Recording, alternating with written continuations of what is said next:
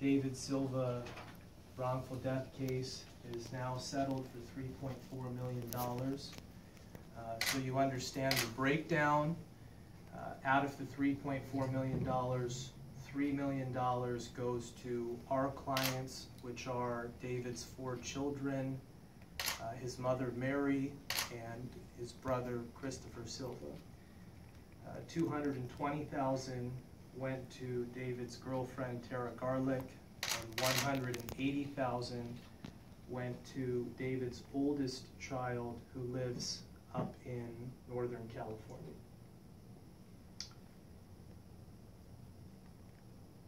This case is now over, and this settlement uh, is a bittersweet end to a long journey to achieving justice. And I say that it's bittersweet because it's bitter in that David is not here with us.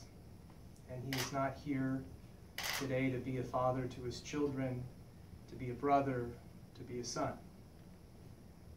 But it's sweet because we know that the money that we've obtained in this case is going to go a long way to helping David's children secure a bright future so that they have a full ride to college, so that they have opportunities to succeed in life. And these are all things that David would want for them. Early on in this case, the Sheriff's Department, Donnie Youngblood, the DA's office, Lisa Green, all claimed that they did investigations in this case. So-called investigations, where they told you that these officers did nothing wrong. And what I can tell you today is that those were not real investigations. The real investigation that went on in this case was an investigation that went on over the last three years. And that investigation was an investigation conducted by the lawyers who came in and took depositions of every single officer and deputy who was involved in this, all of the high brass in the sheriff's department who were involved in making decisions, all of the witnesses who were brave, who came forward, some of whom videotaped the incident, all of whom witnessed what happened. All of these people were deposed, documents were exchanged, videos were looked at. And the result of that investigation is in. Those deputies and the officers involved in that incident killed David Silva. And this settlement of $3.4 million is a reflection of that reality. I'm going to pass along, oh, we'll just go ahead and switch spots. Um, so Tom can say something. My name is Thomas Seabaugh, S-E-A-B-A-U-G-H. I'm a civil rights attorney in Los Angeles, and I worked on this case. This settlement represents for the Kern County Sheriff's Department a richly deserved black eye. This case was more than about how they killed David Silva. It was also about how they tried to cover up what happened. I think it's useful to look back at what was said three years ago about how David Silva died. What was the official story? Kern County Sheriff Donnie Youngblood said on May 23, 2013, three years ago this month, that David Silva, quote, died from heart disease, unquote. That was said with a straight face. Their story was that he died of natural causes. That's what they said. While he was being beaten with batons, bitten in the face by a police dog, hog-tied, compressed chest down with multiple deputies on his back, supposedly he spontaneously died of natural causes. That was the official story. which was accepted by the district attorney's office. In this case, we retained uh, the former medical examiner for Ventura County to give his opinion. He was able to determine that David Silva died as a result of being asphyxiated. He was asphyxiated because he was hog-tied chest down with multiple deputies on his back for as long as 10 minutes. Youngblood also told reporters three years ago this month that the conduct of all the deputies was investigated and found to be, quote, within department policy, unquote. We took the depositions of top brass in the sheriff's department who testified under oath when I asked them that, in fact, the sheriff's department made no factual findings as a result of its investigation and made no determination about whether the conduct of the deputies was within or not within policy. And those are just a couple of examples of the many ways that the official story of David Silva's death turned out not to be true. So the next time you're at a press conference with the sheriff or somebody from the sheriff's department, and they say, well, this person died and this is how it happened, remember this case. Remember David Silva, because the official story in this case turned out not to be true. For the past three years, the Silva family has been fighting against this cover-up. You may have seen Mary Silva or Chris Silva out on the street corner with a sign that says Justice for David Silva. And I'm sure that there were times when it seemed to them like it was their voices against the world, their voices against an entire system. But the Silva family never gave up. They insisted on telling the truth about what happened, and it's thanks to their courage and perseverance that we're all here today. I'm proud to have represented this family. I'm proud to have been part of this important case. And I'm proud of this victory for civil rights, not just for the Silva family, but for all victims of police brutality. Thanks.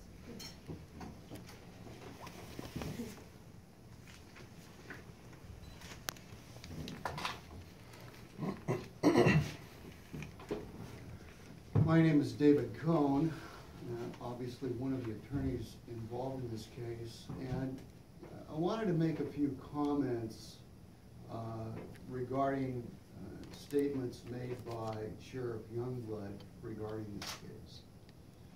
Sheriff Youngblood has said that uh, his department didn't do anything wrong. And in fact, what he points to is uh, the coroner's investigation, and specifically what he points to is the uh, examination by the pathologist who performed the autopsy on David. And what Sheriff Youngblood said is that uh, there was no foul play, and as Tom Seabaugh just said, uh, everything that was done was done within department guidelines.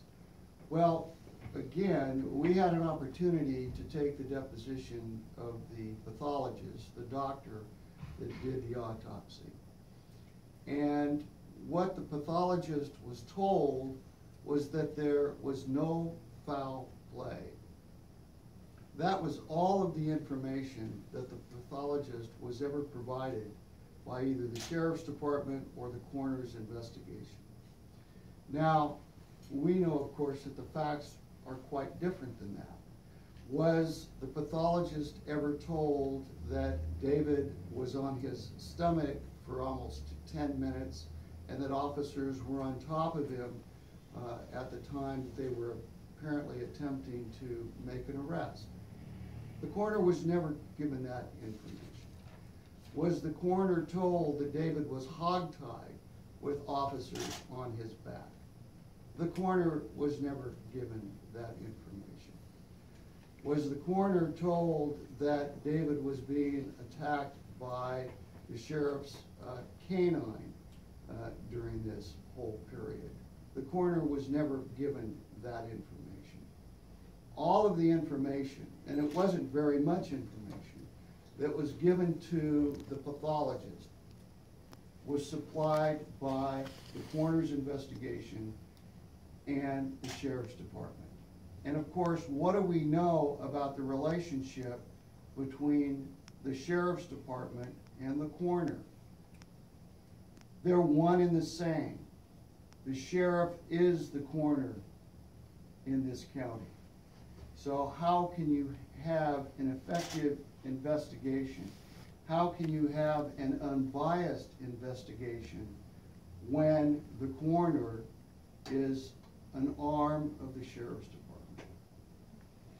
So when Sheriff Youngblood says that there was no foul play, and he bases his comments on the coroner's report and the autopsy performed by the pathologist, ask yourselves, A, was that a thorough investigation? And B, was that uh, an unvarnished and completely objective investigation? I think you have to conclude that if the county is willing to pay these victims three point four million dollars, it's very clear that there was wrongdoing on the part of the county. You know, I've seen comments made by some people uh, in the community regarding this settlement. And some of the people appear to be angry and upset that these victims uh, have received this type of settlement. The citizens of this county ought to direct their anger toward the sheriff's department. The majority of this settlement is paid for by the taxpayers. We all know that this is not the first instance where this sheriff's department has been found to have done things that are not within department guidelines, that they have been responsible for the untimely deaths of other victims. So I think the community needs to ask itself, when is this going to stop? When have we as a community, when are we as a community going to demand some change within the sheriff's department? When is the culture of the sheriff's department going to change so that we're not conducting further press conferences?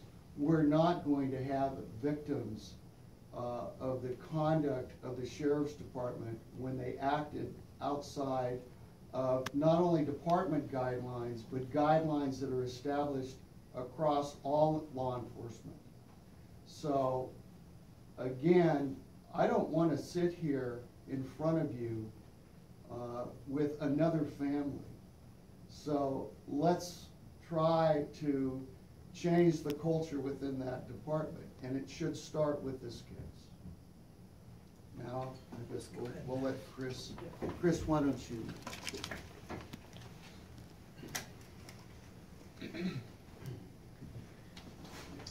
Hey Lou, I'm uh, Chris Silva, uh, David's brother.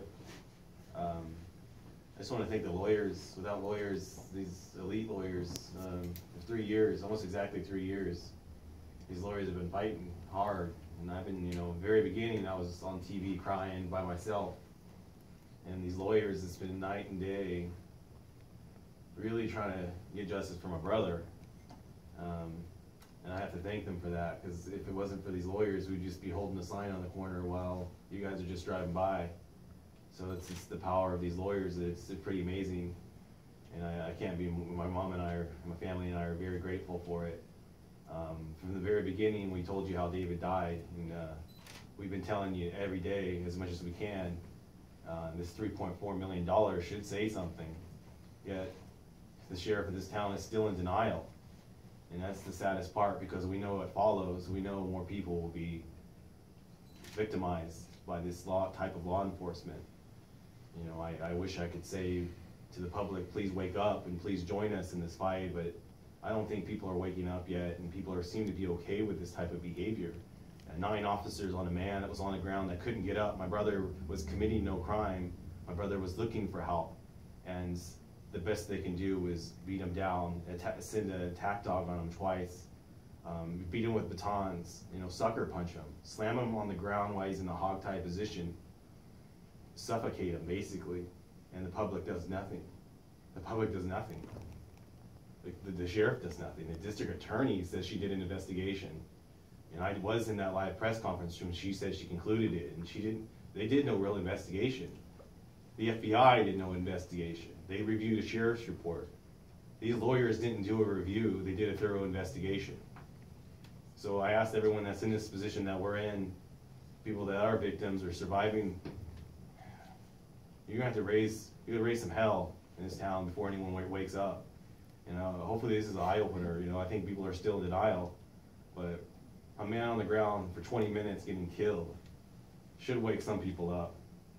And I just wanna thank everyone that supported us, all the media that came out and really told the truth. This wasn't accidental, this is far from accidental, and, uh, hopefully somebody really wakes up and really reviews this information. This information is amazing, if you sat with this like we did, like the lawyers did, you'd be confident in knowing that the sheriff is not quali- qualified to be a sheriff. The district attorney's not qualified to be a district attorney. And hopefully everyone really looks into this. And I, like I've been saying that for how long? For three years.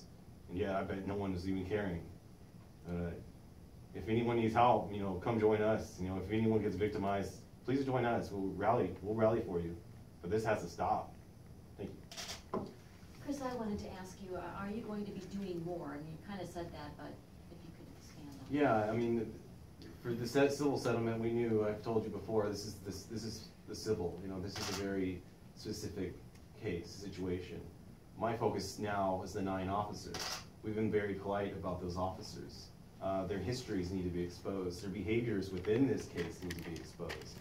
So after this right now, um, they need to be known, you know, these officers are walking around uncaring. You know, they, they, they've got nothing, they've, they've got a paid vacation for a week or two. That's the most they got out of this. Um, but people need to know the, their behavior with that night. And nobody knows really, because we had to be quiet. I've had to be quiet. Even talking to you in the interviews I've had with you, I've had to restrain myself, because I knew a civil trial was underway. Now I can talk, and you'll see more of that in the future.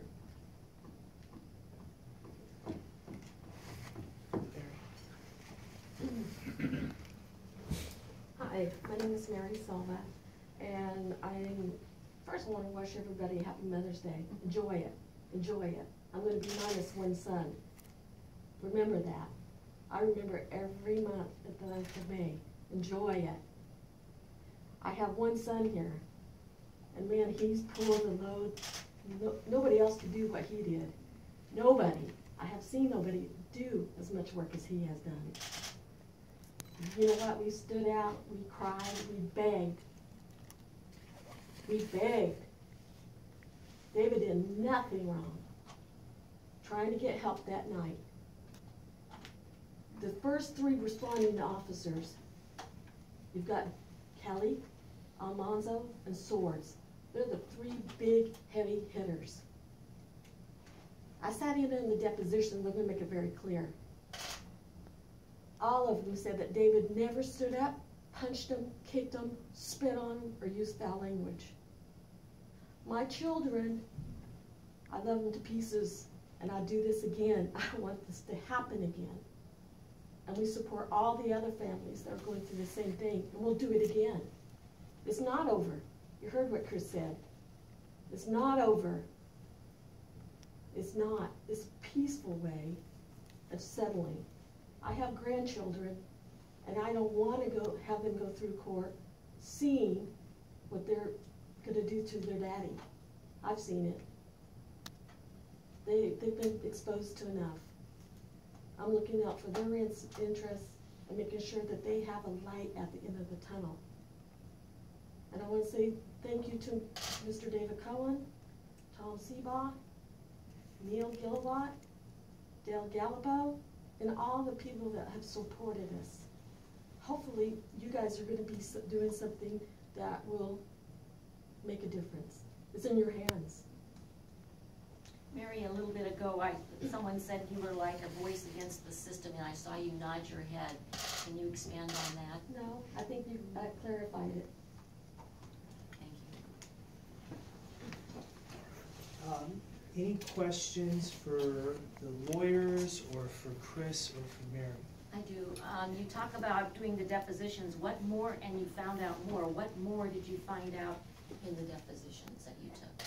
Well, we, um, we took the depositions of all of the deputies and the officers uh, who were involved in this incident.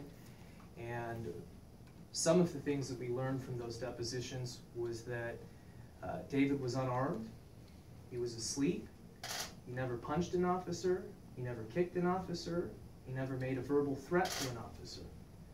And yet, despite being asleep, these officers hit him with batons, they put a canine on him, they put him in a prone position, they put pressure on his back for an extended period of time, they put a spit mask on his face.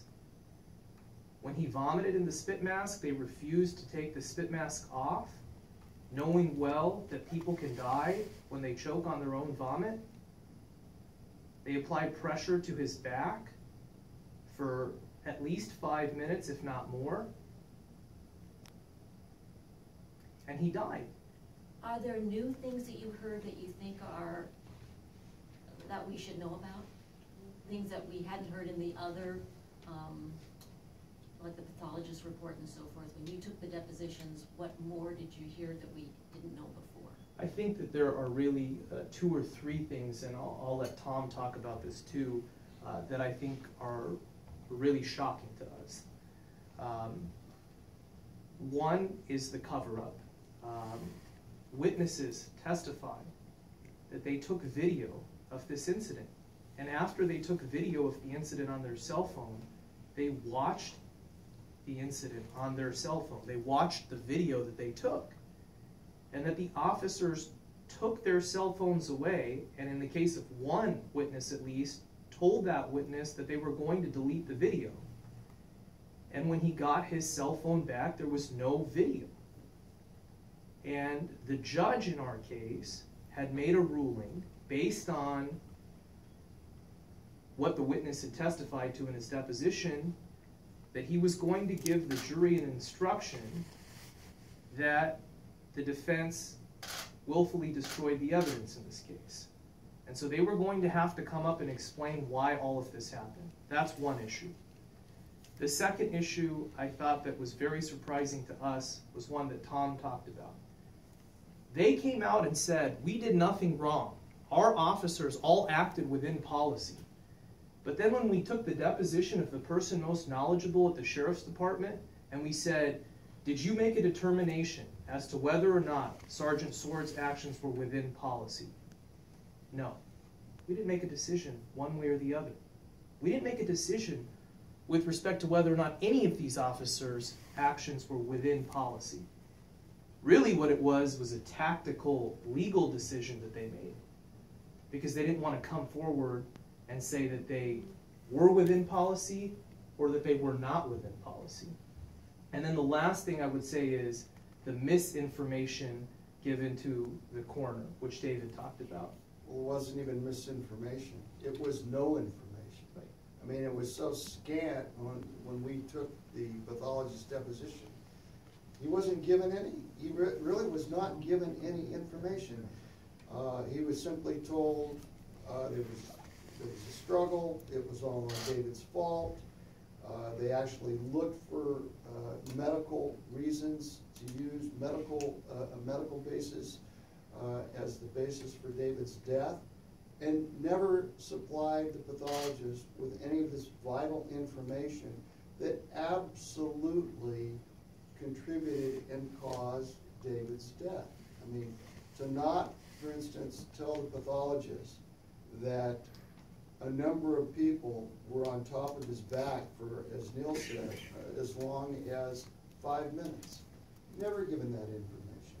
Never told that the spit mask was applied, which of course, as you can imagine, makes it more difficult for one to breathe.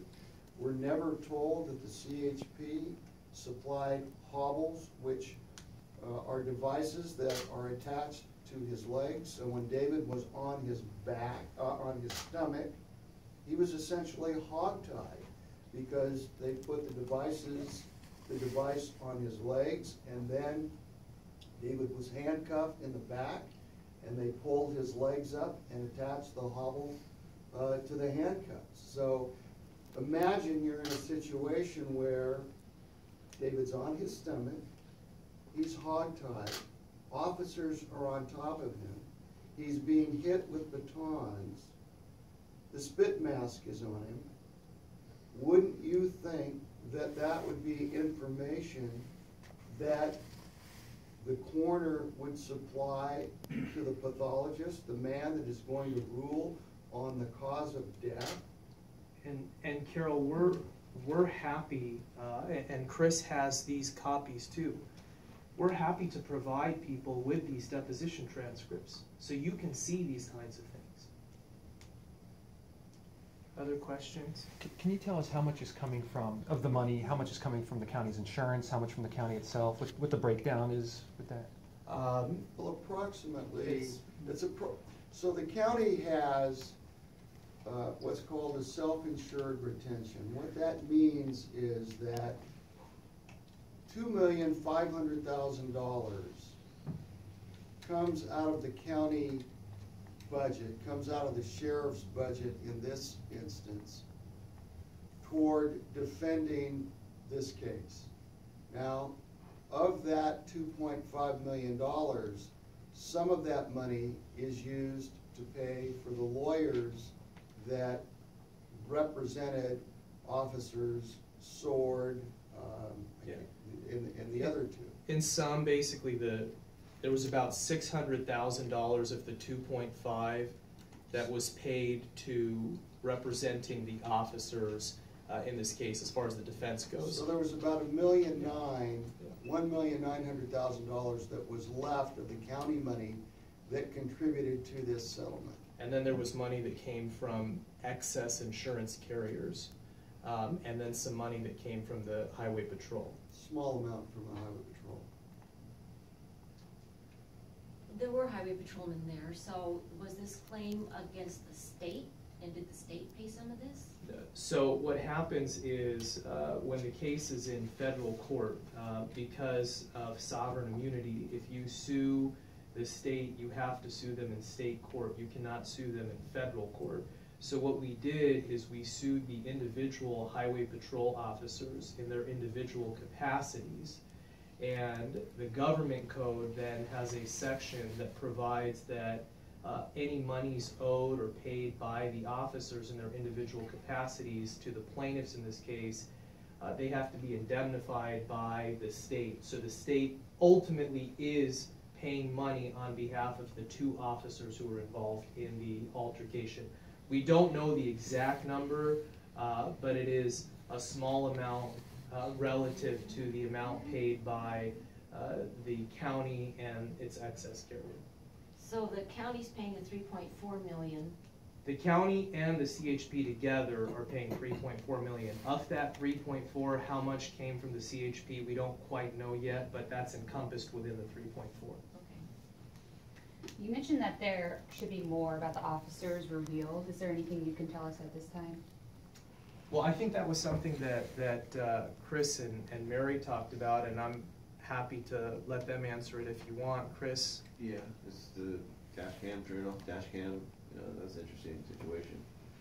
I don't know if you wanna talk about that. Sure. Uh, There was testimony given by the highway patrol officers that before the altercation was over, uh, they went back to their vehicles and turned off their dash cam videos, uh, which are on the front of uh, their vehicles before the altercation was over. Um, And uh, that would be one thing, for example, that, that was out there. We can, we can provide the original documents. There's another, uh, the sergeant changed his story dramatically from his initial interview because he said he had a dream. It's hard to make this stuff up. This is truth, not fiction. He said he had a dream, and as a result of his dream, he remembered that the incident actually took place a completely different way. A sergeant with the sheriff's. That was Sergeant department? Sword. Okay. And what he, yeah, what he had said about the dream in particular uh, was that uh, he had a dream several days later where he remembered that there was a baton lying on the ground and David was reaching for the baton. and that he then conferred with Deputy Kelly about that, and they said, oh yeah, that's true. And then, in addition to that, the investigator from the sheriff's department in the report said, it's common in my experience as an investigator that officers oftentimes have dreams where they're able to remember things, and then it turns out that those things can be accurate. Even though none of the other officers saw a baton on the ground, even though we believe that the reality is that there was never a baton lying on the ground and David was never reaching for it. David was originally turned away from the Mary K. Shell Center. Right. Does this lawsuit include anything in that, or is there gonna be any action towards that? No. No. The, uh, they, they, what they told, uh, David that night was that there were not enough beds to, to care for him.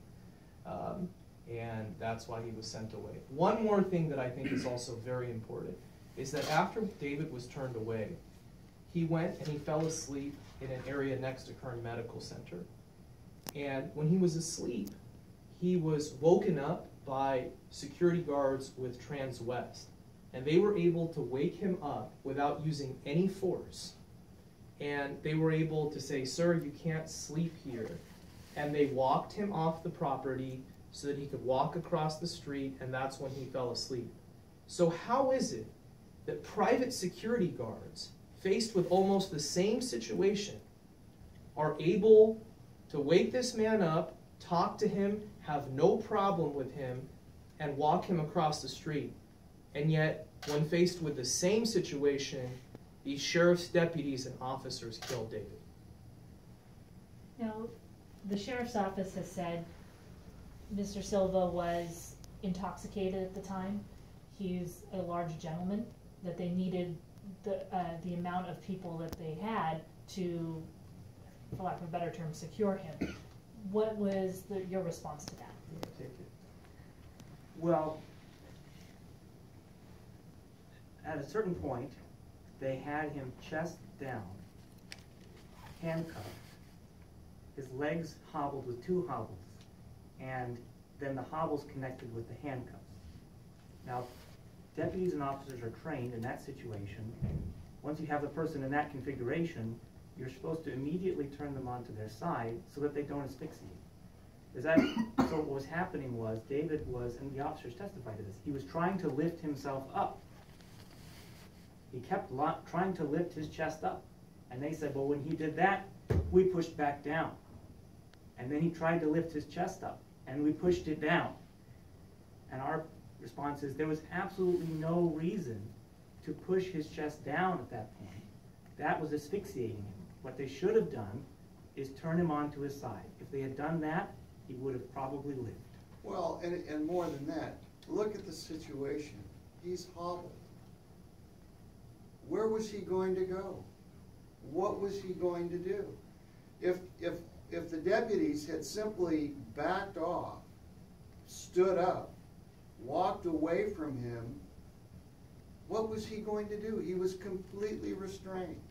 And let's not mince words about the numbers here, right? You have one man and you have nine officers. And a dog. Will you be seeking uh, criminal charges against these officers and uh, commanding officers? Well, it, uh, remember earlier, Lisa Green, our district attorney, said that, that her department had conducted a review of the situation.